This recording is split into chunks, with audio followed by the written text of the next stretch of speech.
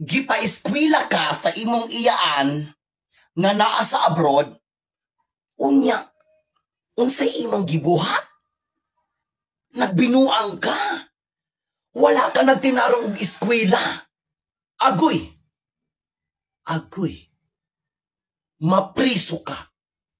Mapriso ka. Ayaw intawog saya nga ang kahago sa mga tao ilabi nagwala ka nagikan sa ilang mga inunlan. Ilabi na gayud kung gitarong ka og pagpangga o giayo kag suporta para matulid ang imong kaugmaon kay kabalo ka di na sila ganahan nga maglantaw sa imuhang nga magkaingon-ingon.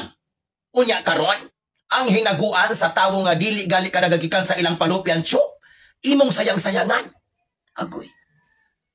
Mapriso ka. Mapriso ka. Kabalo ba ka nga dili tanang tawo swerte? Oo, dili tanang tawo swerte nga adunay kadugo nga mo paeskwela sa ilaha nga mo sakripisyo sa ilang kwarta o oras. Aron lang ang imong kaugmaon mapurma.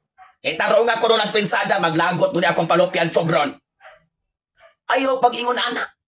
Ayaw pag-ingon anak. Ay kabalo ka sa madugay sa madali kaning panahon, mutuyok ra dayon. Naunya ka nag-ipeskwela ni mong natiguang na na. Di na nakabalo mo sa pagpanarbaho, kaya di na makaya sa lawas. Di gisayangan nimo ang panahon. Ayaw intawog sayangi ang panahon. Ibutang guni sa imong kas kasing-kasing. Ibutang na sa imong huna-huna. Time is gold. Walay dapat usikan nga oras. Walay dapat usikan nga panahon. Kung ilabi na sa tanan, walay dapat usikan nga kwarta. Kay dili tanan, dili tanan, muhangop ni mog mulingi ni mog tabangan ka. Anong yung na naman inyo mga mindset?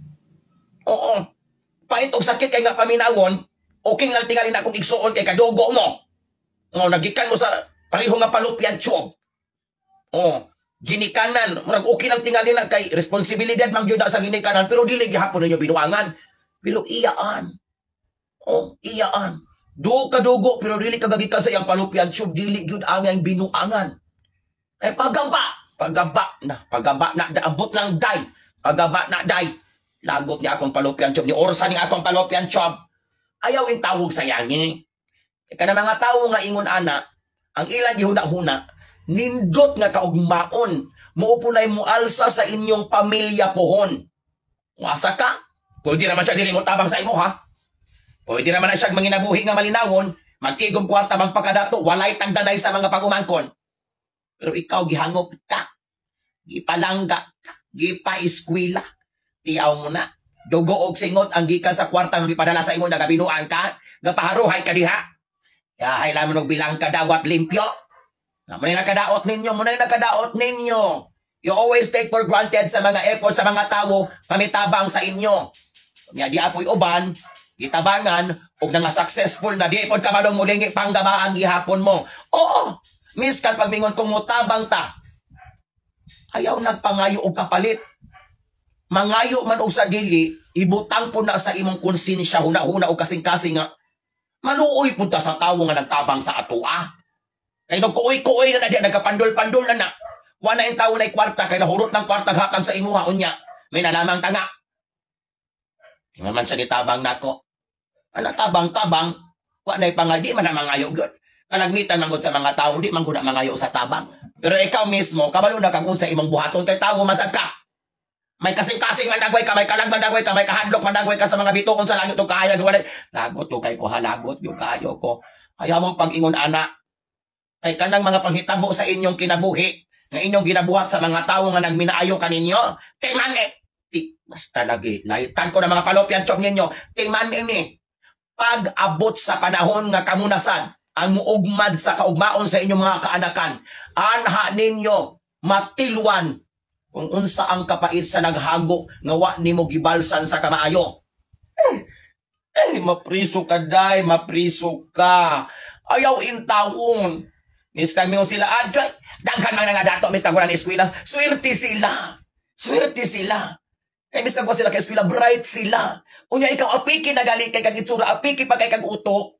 Magbinuang pagkag-eskwela, always remember, mas nindot gihapon nang maka-eskwela ta, kay dili ta mailad. Kay kabalutang mo basa, kabalutang mo sulat.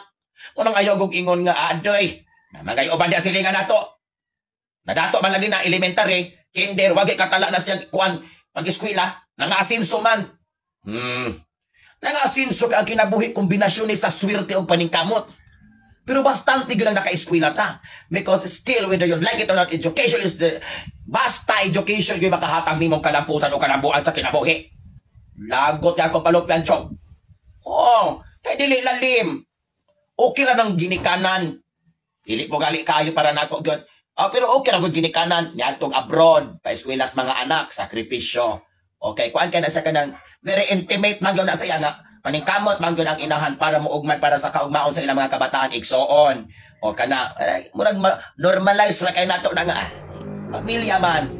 Pero kanang arina tagawa sa atong pamilya, par pamilya ang gyapon namang iyaan pero murag medyo layo-layo na na no. Mm, medyo layo-layo na na sa palupyan chop kana. Nagsakit kay paminawon no. Pero miskan gali akong usbon, miskan gali ang inahan og igsoon nga magka-eskwela nimo imong binuangan amot lamang nimo. Nag ako lagi, basta pagkita ang gabinuang undang, arang